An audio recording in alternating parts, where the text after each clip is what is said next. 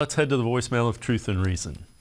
Hello, it's me, Long One again. I just wanted to know a trade that the Browns get for a tight end number two. We already have Harrison Bryant. You know David Njoku's already unlocked. I was thinking of a free big agent name, like Jordan Akins out there for the Texans. He's been pretty productive this season. Another name that comes to mind is Gerald Everett. I love him in the Chargers. He was a very good productive tight end too. Another one is Irv Smith from the Vikings. I like a lot of stuff about him. I liked him as a player in college.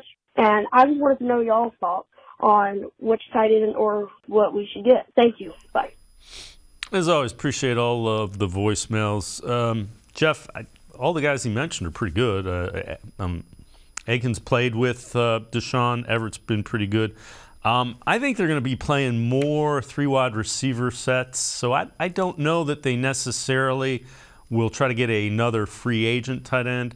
I'd rather see him go and, and upgrade the wide receiver position pretty significantly.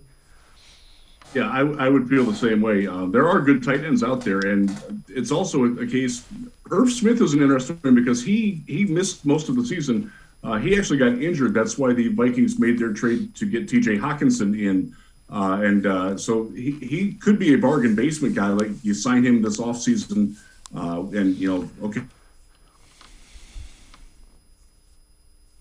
He's, you know, hopefully he can resolve sign a blatant deal, but that's the type of th- a tight end that I think you're going to get in here.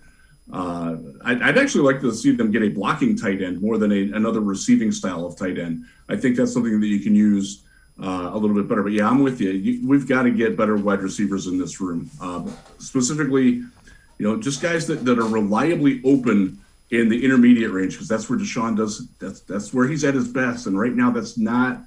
That doesn't match up with where the, the, the Browns wide receivers are working at their best. So uh, they've definitely got to improve the wide receiving room. And you know, what uh, getting a running back that can catch out of the backfield uh, if if Kareem isn't back, if you know things the dynamics change there, uh, that's something that they have to look at as well.